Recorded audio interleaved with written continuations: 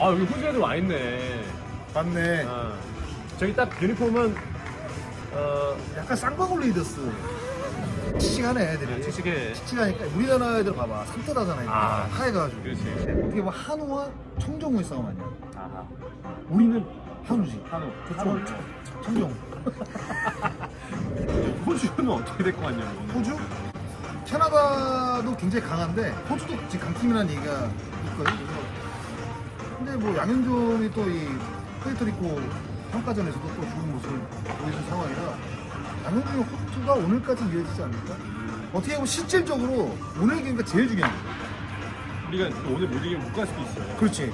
캐나다가 일단은 맞아요. 지금 1차전을 승리로 쿠바에게 승리를 거둔 상황이라 1승을 지금 안고 음. 내일 이제 그러니까. 캐나다를 만나는데 이게 1승을 안고 만나느냐 1패를 안고 만나느냐 이게 굉장히 부담감이라 이게 확실히 국제대회는 모든 경기 마찬가지지만 첫 경기를 이제 잡아내는 거야 이게 이제, 이제 중요한 거야 오늘 오늘 반드시 이길 거라고 믿습니다. 그렇죠? 아 그건 뭐 물어봐요 알았어, 알았어요. 네. 당연히 예스지 그러면 파이팅으로 대한민국 내일 보자.